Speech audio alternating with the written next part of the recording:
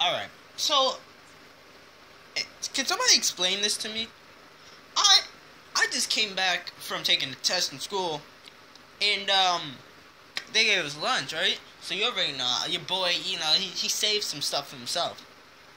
I didn't get to look at the lunch properly because I come home, I unravel the sandwich, and this is what they give me.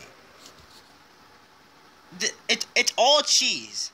The, there is no meat whatsoever. I swear there I did not take anything. There is no meat.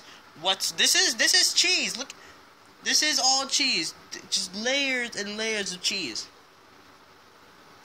I am lactose intolerant, first of all. All right, and I mean, you probably gonna say like you don't have to like accept the lunch, but look at this. Why why would you bait me thinking that I'm getting like a good turkey sandwich, right?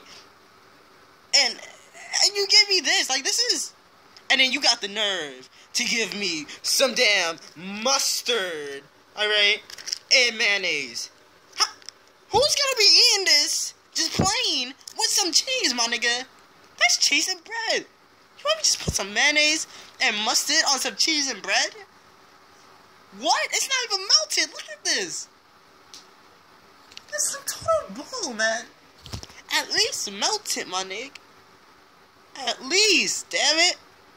All cheese, bro. All cheese, guys. I don't want this, bro. I wanted, I wanted, I want wanted turkey, bro. Why you got me? Why, why you giving me all cheese, cuz? Why you giving me all cheese, bro? Why are you giving me all cheese? I don't make sense. Why would you put mustard and mayonnaise expecting me to eat this cheese? You knew it was cheese. You knew it was just cheese and bread. Why would you give me this? Bleeding me. Why would you think I why? Why would you try to trick me even more, man?